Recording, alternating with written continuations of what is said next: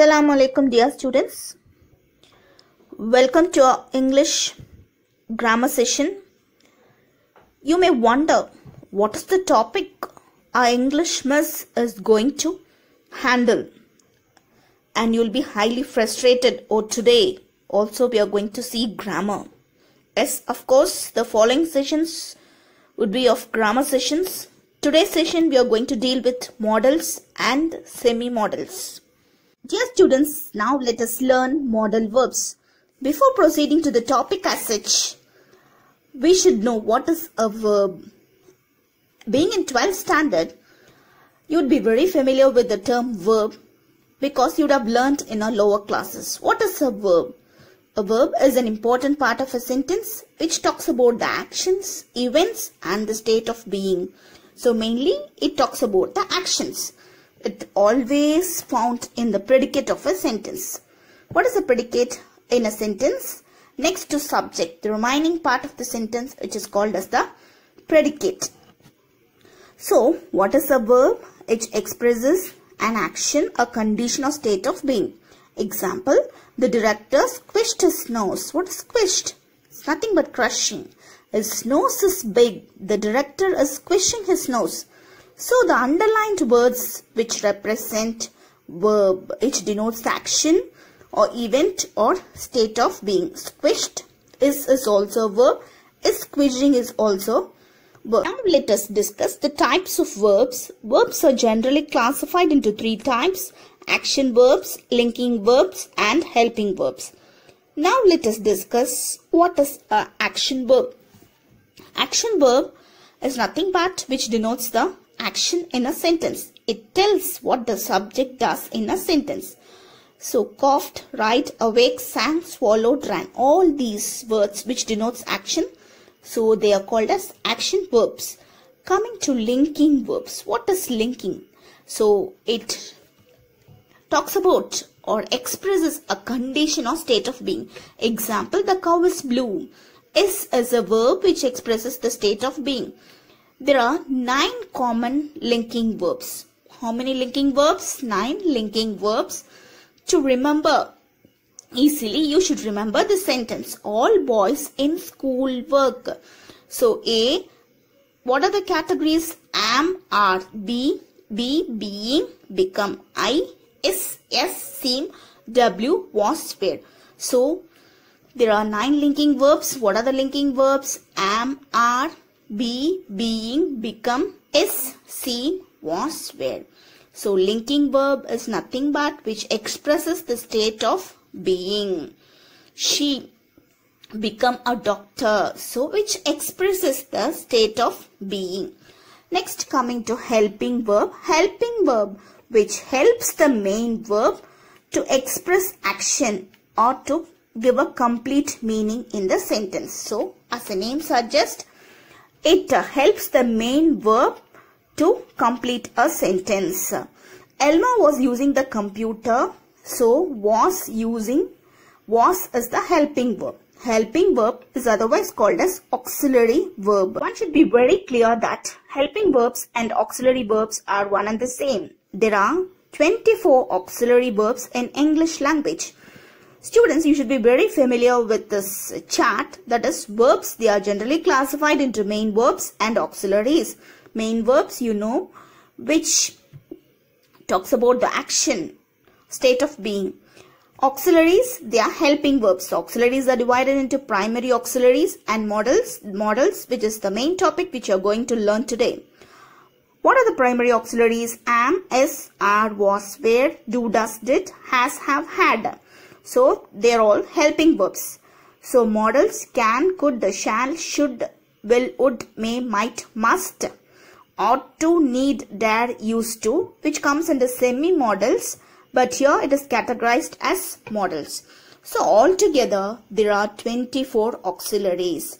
So am, is, are, was, where, do, does, did, has, have, had, can, could, the shall, should, may, might, must, ought to, need, dare, used to. 24 auxiliaries. Let's get started with modals. I hope you would be familiar with verbs and the different uh, types of verbs, helping verbs, auxiliary verbs and linking verbs. Now we are going to discuss modals. Modals, it's a special kind of the verb which expresses the mood. That is which expresses the attitude of the speaker, which expresses the condition form of a verb. Example, I can dance. Can is a modal verb which expresses the ability. So, helping verbs, auxiliary verbs and modal verbs are one and the same. So, as the name suggests, they help the main verbs to complete a sentence. Let us see some of the modal verbs. Can, could, shall, should, will, would, may, might, must. So, these are categorized as modal verbs. So, what are the modal verbs? Can, could, shall, should, may, might, must. They are classified as modal verbs. So far we have discussed modals and what are the modals in English language and now we are going to see the functions of each modals. The first one we are going to see is can, could. So can, what are the functions of can? First one is ability that is the ability to do something. I can speak four languages. I can dance. I can do this. So can represents ability. Next is possibility. Smoking can cause cancer. So, happening, future happenings, that is called possibility. Next, permission. Can I use your book, please? In case of permission, you might use can. Next, request. Can you hand me the pen? Can you hand over this to me? So, you'll be using can. Next, offer. That is help. Can I help you? Can I do this for you? So you'll be using can. Next, cannot. You cannot do this. You cannot smoke here. You can't smoke here. So, negative form can is used. Next, could. So, the past tense of can is could. So, what are the functions of could? Now, let us discuss. First one is ability. So, ability in past tense. I could play a guitar when I was a child. So, ability in past tense. So, in past tense, you will be using could. Present tense, you will be using can. Next, possibility. A lot of crime could be prevented. So, possibility again in past tense, could is used. Permission. Could we go home now? So, permission. So, polite way, you will be using could. Request. Could you lend me this book? So, if you want to be very polite to a higher authority or an elder person, you should not use can. Could is used here. Suggestion. I could help you with English. So, you are suggesting. Next, condition. I could visit many places if I had more money. So, condition. So, if I had more money, I could visit many places. So, in case of condition, could is used. So, the past tense of can is could. So, can is used in present tense, could is used in past tense. The functions are more or less the same. So, in case of permission and the request, the more polite form of asking permission and request, you should use could. You should not use can. Now we shall discuss the functions of will and would. The past tense of will is would. So will is used in the form of request. Will you lend me a book? That is when you're asking informally. That is normal way. Next, refusal.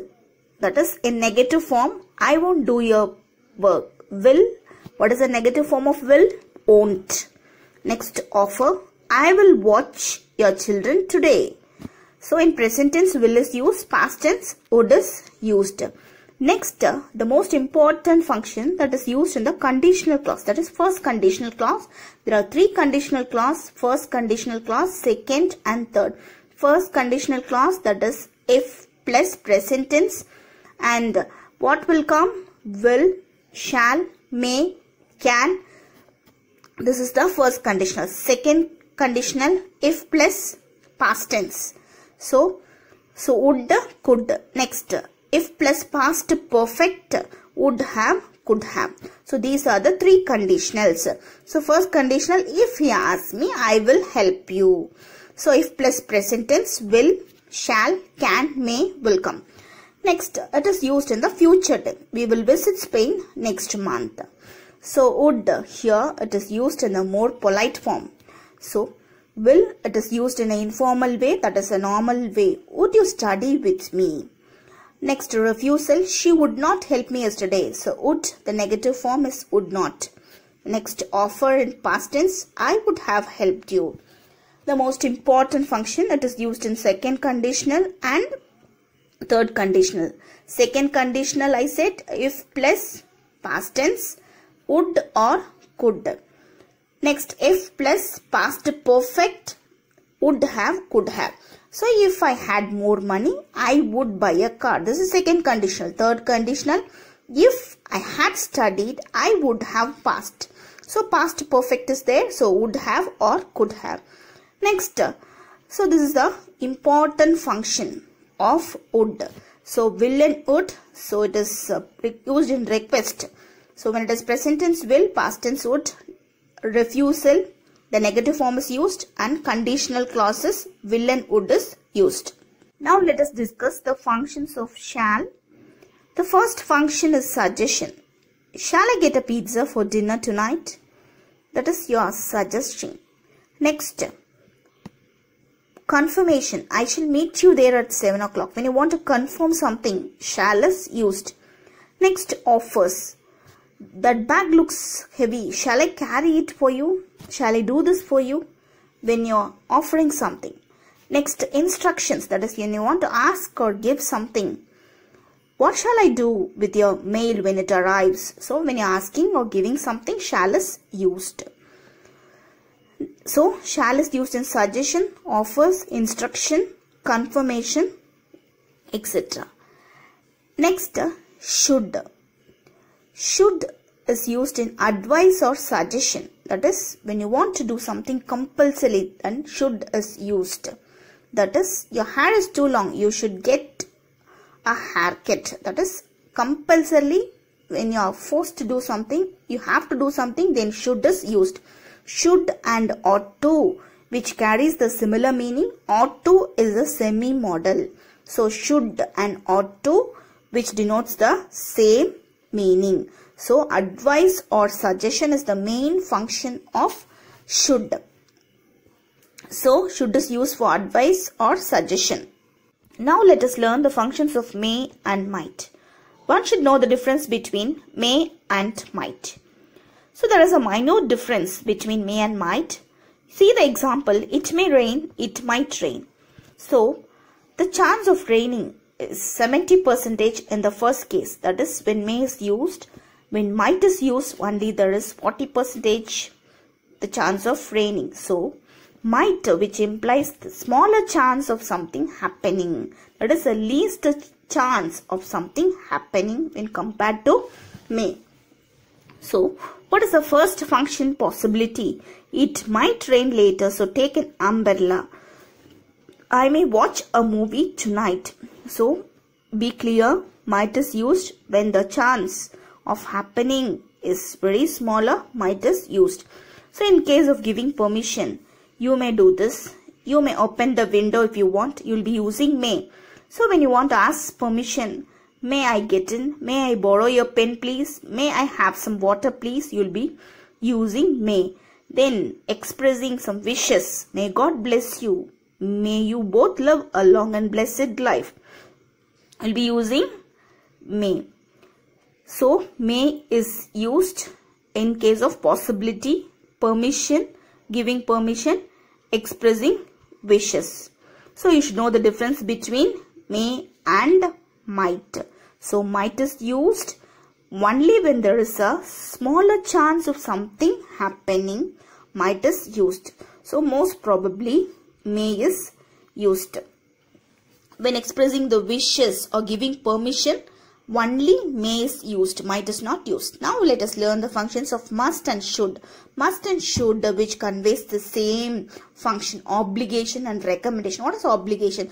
That is uh, when you want to follow something very strictly that is called obligation. You must obey this order. So strictly you have to do this. You must do this. So that is called obligation. You must respect your parents. You must visit DC when you're in US. You must be 18 or older to vote in the US. Next, should. I should save more money each month. She should wear a suit to the interview. So, something which should be done. Then, must and should is used. Have to. I have to finish this report by 5. So, when you have to do something very strictly or when you have to follow something very strictly, then must or should is used. You must take this medicine regularly. You should attend this online classes regularly. So must and should is used. Now we are stepping to semi-modal or quasi-modals. So semi-modals which is used both as modals and as main verbs. But the semi-modals they are used rarely in a sentence. There are four semi-modals ought to, used to, need, dare. So there are four semi-modals. We shall discuss one by one. First one is need. When need is used, when there is a necessity, need is used. I need to buy a packet of milk. Then moral obligation. We need to keep our environment clean. So necessity, moral obligation, need is used. Next uh, semi-modal is used to. What is used to? Used to is nothing but when you were using or doing something in the past and at present you are not doing that or using something. Example, my grandfather used to work for long hours when he was young. So what is the meaning at present? He is not going for a long walk because he has come to his old age. So used to which denotes habits in the past and at present you are not doing it. Next, dare.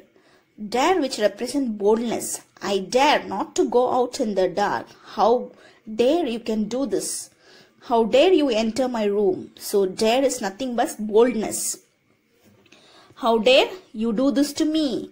So dare is a semi-modal which represents boldness. Next, ought to. Ought to is similar to should. So, should and ought to which conveys the same meaning. First one, duty. That is, you ought to submit your assignment on time. Moral obligation. That is, you should ought to help the needy. Next, necessity.